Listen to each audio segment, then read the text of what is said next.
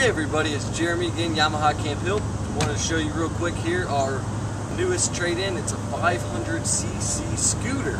Uh, it's a Kymco, made in Taiwan, and it's it moves. 500 cc's. This thing will take you on any interstate you want to go on. So it's fully automatic. You just have your brakes and acceleration. Only about 5,800 miles on it.